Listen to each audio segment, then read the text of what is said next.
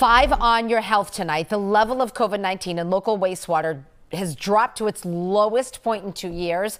Here to talk about that and more, Dr. Kristin Moffitt, an infectious disease specialist at Boston Children's Hospital. Always great to see you, Doctor. Hey, Dr. Dr. Moffitt. It's a great indicator, isn't it? I mean, it's it's an equaling indicator. So it's mm-hmm. good news, right? It is good news. No, I think it's very good news. Um, these very low levels that are being detected in the wastewater are certainly consistent with what we're seeing in terms of also low rates of COVID associated hospitalization right now, which very much aligns with low rates of community transmission. I also think it's great that we have a tool like this these wastewater surveillance uh, updates have often provided one of the earliest indicators to expect right. a surge. Oh, and I think yeah. there's a chance we'll see surges in the future um, when weather cools off and people head indoors. So having a tool like this to give us the earliest heads up is, is really helpful. Um, COVID, as you know, doctor, has been the top public health threat for a long time. So based on what we just talked about, how would you rank it now in Massachusetts? Yeah, I, I, think that I still would give it a lot of respect.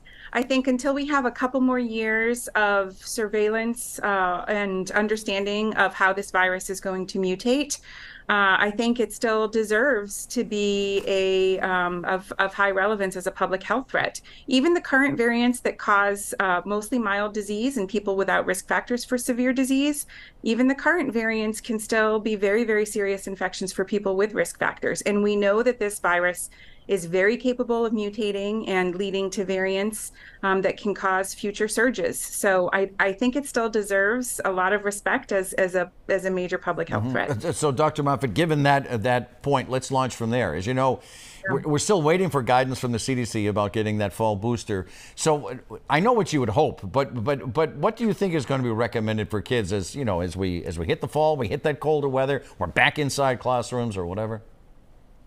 Yeah, I think it's a little bit hard to say what the recommendation will be until we see some data. We know that these updated boosters and the available boosters will largely be mRNA vaccines that are going to be updated specifically for these XBB subvariants of the Omicron lineage. We will really need to see the data around the immune responses elicited by these vaccines. I would say, though, that if data continue to show that these vaccines are safe and that they are effective at preventing severe infection or mm-hmm. complications of severe infection, such as long COVID or MIS-C, then I would hope that the recommendation for children to receive these vaccines will be a pretty broad one. All right, Dr. Moffitt, thank you so much for joining us. As always, stay well, doctor. Great to see you, Dr. Moffitt. Take care. So